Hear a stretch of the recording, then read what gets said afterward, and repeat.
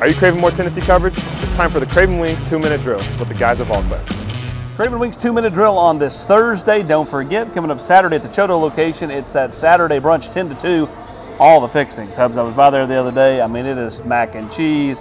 I mean, you've got salmon, you've got, you know, I mean, it, it, You got the prime rib prime carving rib. station. You got all the breakfast deals. It is a great, great uh, menu and, and a great time at that Yeah, location for and brunch. All that. And then you get the regular menu if you want to order off of that, which Yeah. is what I did because I went with the boneless wings. And, uh, you know, just, just a, a lot of cool fixings out there at Craven Wings. Brent, got to hear from some defensive linemen today.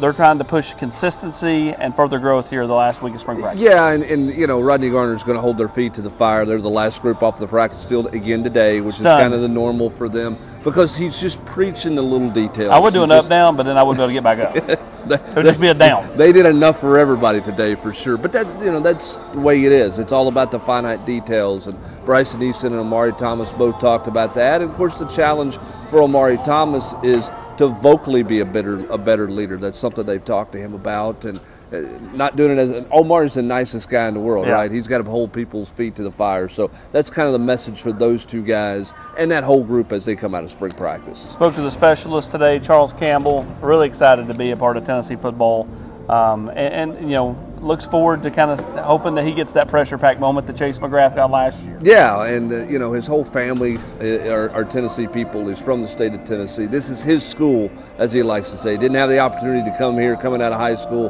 When that opportunity presented itself this time around, he was not going to miss out on that chance, and he's excited about being here and wants to carry on the legacy of Tennessee kickers.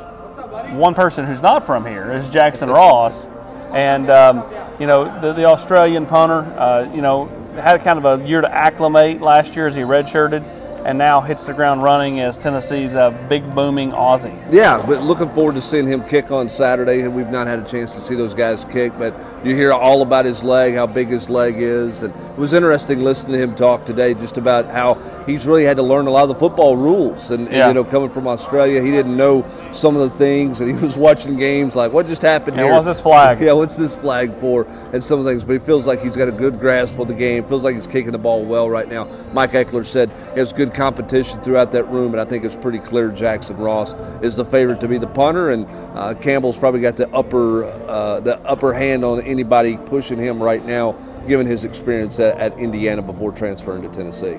And before we get out the door, Hubbard, don't forget we got a pretty good deal. Yeah, four months, ten dollars at VolQuest right now. A chance to check us out. All of our spring covers. A lot of recruiting going on. It was a busy week last week. It's always busy in recruiting. Things are going to continue to get heated up with official visits, unofficial visits this weekend.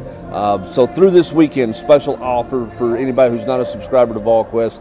Four months for ten dollars. That'll take you right up to the start of the football season and uh, get you ready to go for Tennessee in this 23 season.